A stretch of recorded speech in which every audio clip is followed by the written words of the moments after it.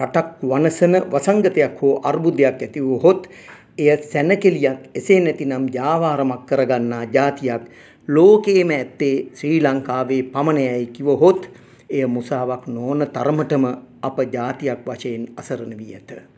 වංචා දූෂණයෙන් පිරි අපරාධකාරී මේ කර්කශ දේශපාලනය නිර්මාණය කළ වත්මන් ආර්ථික අර්බුදයේ අතුරුඵලයක් වූ ඉන්ධන අර්බුදය අස්සේ ඇති විවිධ ජාවාරම් අතරින් එක සිදුවීමක් මෙසේ සටහන් කරමු.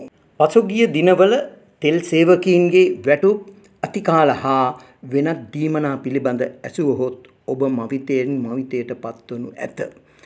තෙල් සේවකයිනට වැටුපට අමතරව අතිකාල හා අනිකුත් දීමනා ගෙවනු ලැබුවේ අවම තෙල් නැව් අටක් බෙදා හැරීම හා පිරිපහදුවේ අකණ්ඩව නිෂ්පාදනය කර ලබන මුදල අනුවයි.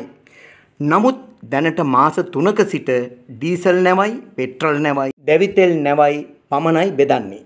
එහෙත් මාර්තු මාසයේ ගෙවූ පරිදිම වැටුප් අතිකාල හා අනෙකුත් දීමනා එලෙසින්ම ගෙවීම කෙතරම්ද කිවහොත් එය කෝටි හතලිස් පහ ඉක්මවා ඇත.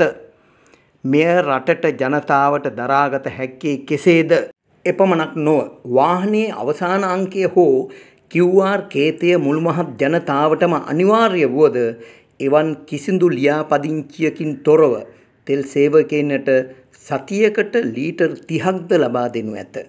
මේ බැව් ඇමති රජය සහ අනිකුත් ඉහළ නිලධාරීන්ද මැනවින් දන්නාමුත් මේ අපරාධය නැවතීමට පියවරක් නොගන්නේ පහළ සේවකීන්ගේ කටවල් වැසීමට මෙම ගෙවින්වලින් හැකිවන නිසාය.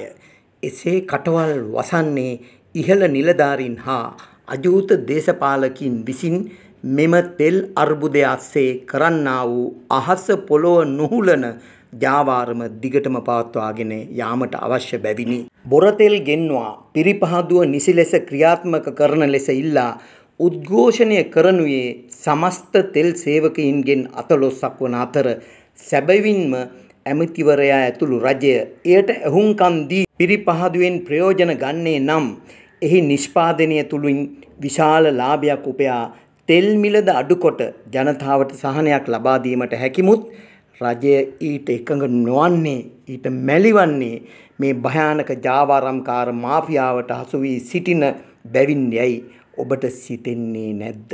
මේ පිළිබඳව දැඩි කනස්සල්ල පළ කරන වෘත්තීය සමිතිද ඉදිරියේදී දැඩි පියවරක් ගැනීමට නියමිතය.